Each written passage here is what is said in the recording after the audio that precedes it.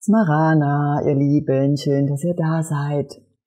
Dieses Video ist das Folgevideo von dem anderen mit der schwarzen Magie. Denn hier in diesem Video möchte ich mit euch zusammen aufklären, wie wir die Welt tatsächlich retten können. Und es ist nicht schwer. Jetzt das Video im Hintergrund äh, trägt die Energie von dem Halschakra das ist ganz wichtig auch in, in, in dem Prozess, was ich euch gerne erklären möchte. Es geht um die Worte und Gedanken und die Energien von dem Video unterstützen uns natürlich zusätzlich, wenn wir auch nachher am Ende eine gechannelte Meditation werden machen. Ja, wie kann man jetzt die Welt retten? Die Aufgabe der Lichtarbeiter, welche sich viele vorgenommen haben, die jetzt in dieser Zeit auf der Erde sind, eben die Welt zu retten, die Welt in die höheren Dimensionen wieder zurückzubringen und eben ja Fülle, äh, Gesundheit, Leichtigkeit alles auf die Erde bringen möchten, all das, was zurzeit fehlt. Denn wir befinden uns ja tatsächlich in ähm, einer sehr harten Zeit, wo das Gute und das Böse miteinander kämpfen. Und wir sind mittendrin. Wie können wir das beeinflussen? Es ist tatsächlich ganz einfach. Ich erzähle euch dazu ein kleines Beispiel. Und zwar äh, auf einer kleinen japanischen Insel, wo viele Affen leben, haben Wissenschaftler vor längerer Zeit, wirklich schon ewig lange her, begonnen, die Affen mit Süßkartoffeln zu füttern. Und das hat ihnen am Anfang nicht so geschmeckt. Äh, dann begannen die, die Süßkartoffeln zu reinigen, also den, den, die Erde wegzumachen, und dann haben die das gegessen. Und das haben sich also andere Familien, Affenfamilien abgeguckt, und als es ungefähr so 100 Familien waren, 100 Affen waren, die das taten, auf einmal konnten das die ganzen Affen auf der Insel. Wie von allein. Also es hat denen niemand weitergesagt. Die konnten das wie von allein und noch dazu die anderen Inseln, die umliegenden Inseln, wo die Affen ja gar keinen Kontakt miteinander hatten, haben das dann auch auf einmal gemacht. Die haben diese äh, die äh, Süßkartoffeln einfach äh, von der Erde befreit, gewaschen und dann gegessen. Und so hat sich das, und das ist das Phänomenale dabei, praktisch auf der ganzen Erde, überall, wo man dann den ähm, Affen diese Süßkartoffeln gegeben hat, haben die das wie von allein gemacht.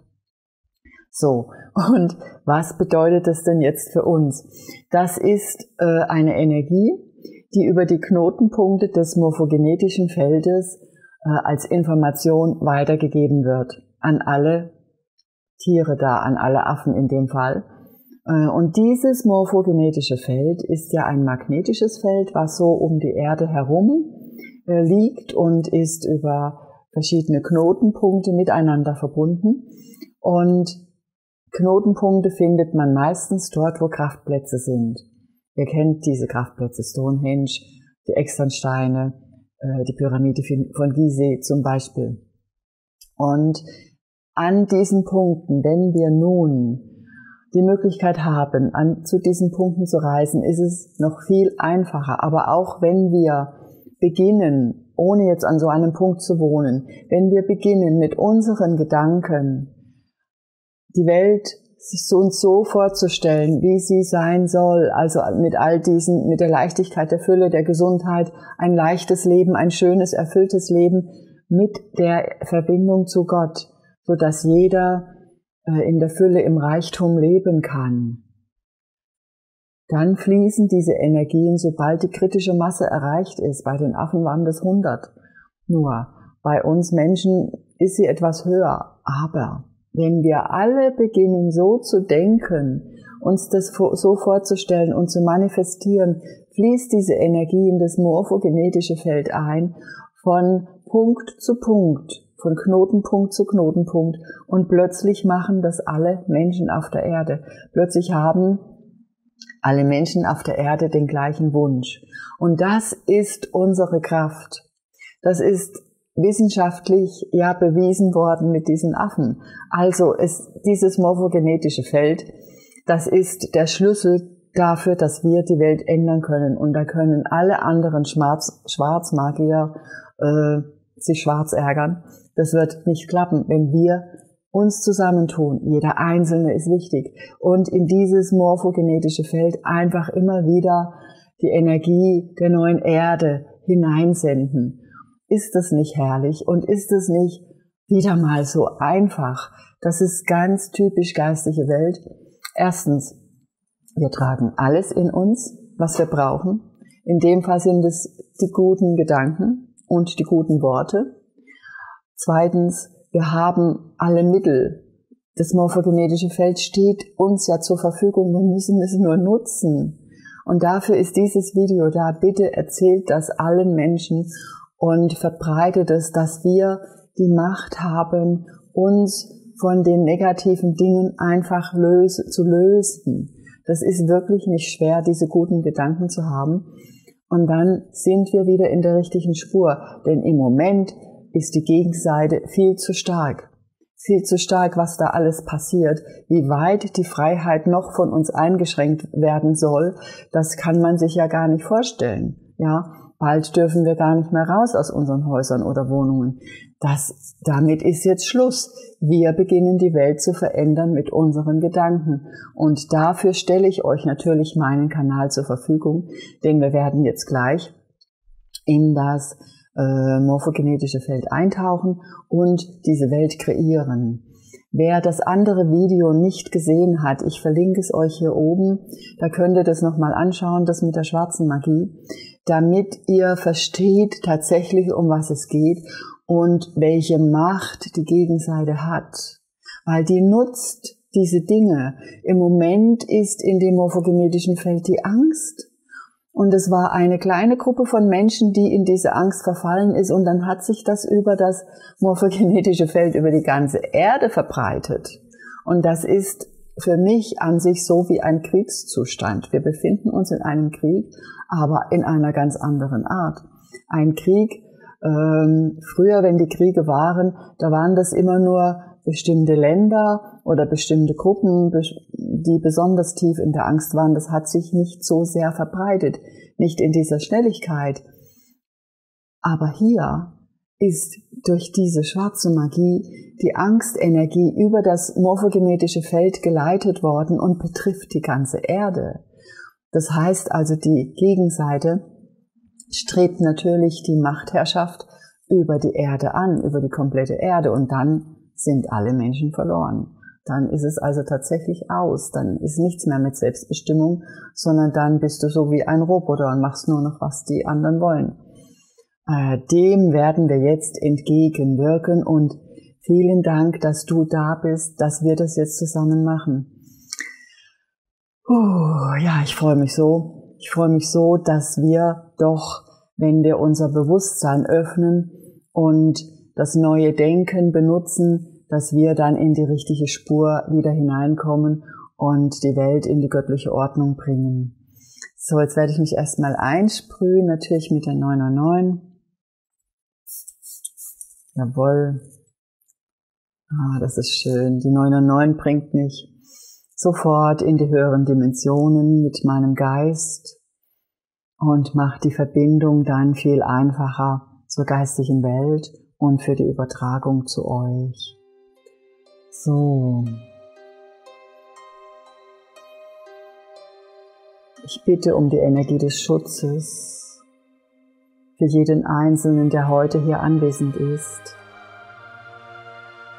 Und ich bitte auch um die Energie des Schutzes für mich selbst.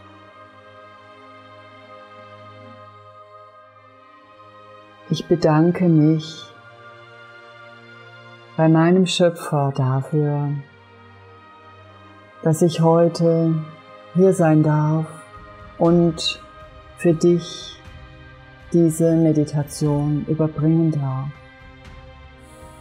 Mit der Kraft der Dankbarkeit öffnet sich mein Herz und ich stehe im Dienste für das Große und Ganze voller Freude.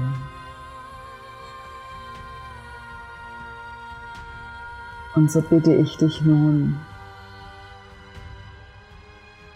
in einem gemütlichen Tempo ein- und auszuatmen. und dich ganz auf die Schwingungen der geistigen Welt einzulassen. Mit dem Wissen, dass du geschützt bist und dass die Liebe bei dir ist.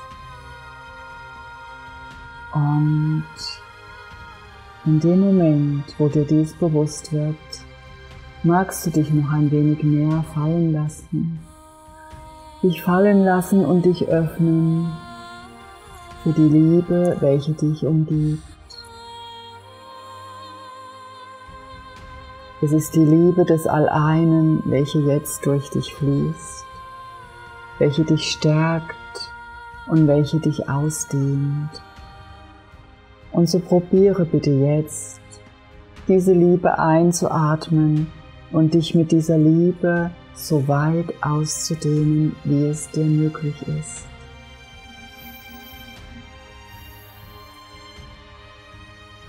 Nehme dazu ein paar tiefe Atemzüge und lasse dich einfach fallen. Die Hände Gottes tragen dich und deine Seele wird dich führen. Ich werde nun für dich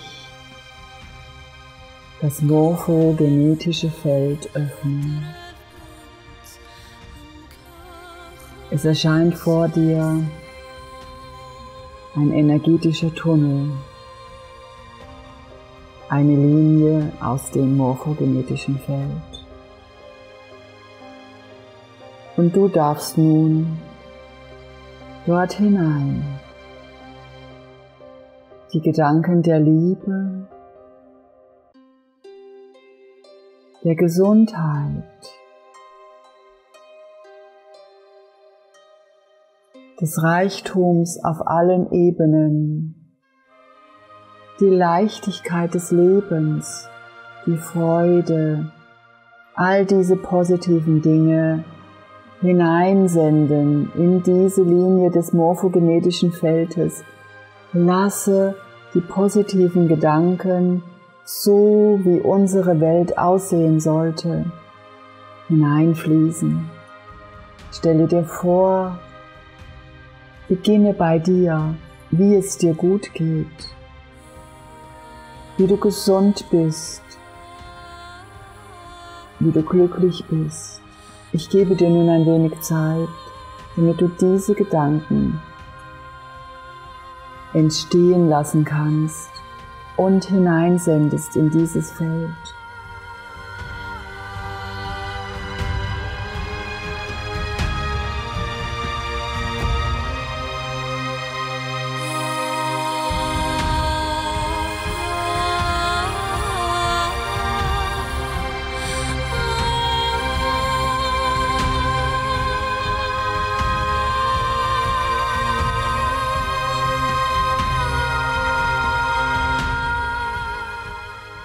Lasse die Erde erscheinen, deinen Planeten, deinen Heimatplaneten, wie er aufgestiegen ist, wie dort die Liebe und das Gute regiert.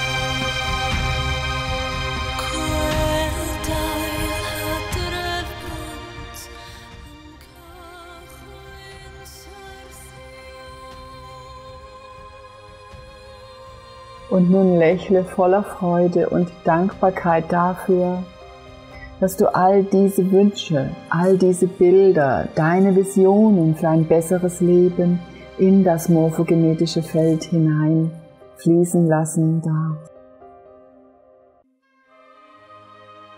Lächle und freue dich dafür. Wie schön doch alles sein kann. Du hast das perfekte Werkzeug erhalten. Und dann komme langsam wieder in dein Hier und Jetzt zurück. Komme in dein Zuhause und stelle fest, dass du die Macht hast, die Welt zu verändern.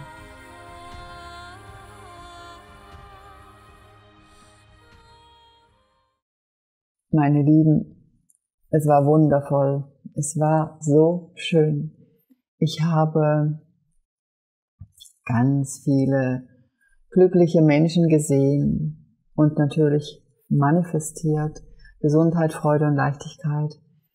Der Marc darf mir unter dem Video schreiben, was er alles manifestiert hat jetzt, was er alles in dieses morphogenetische Feld hineingeschickt hat, damit wir, wenn es geschrieben ist, damit wir da auch noch einen Austausch haben. Denn allein durch das Lesen erfolgt auch nochmal eine Manifestation.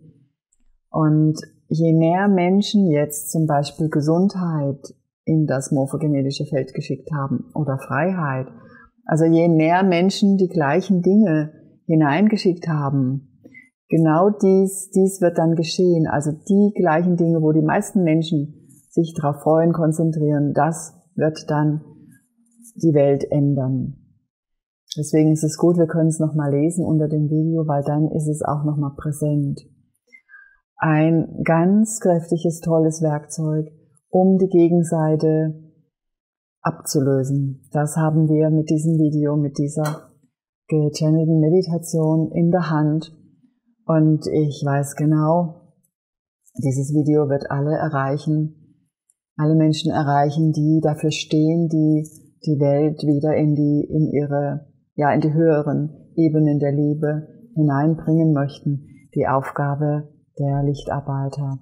Ich danke dir sehr, dass du heute hier warst. Und ich habe euch wirklich so, so, so lieb. Ja, und wir sehen uns zum nächsten Video. Alles, alles Liebe. Bis dann.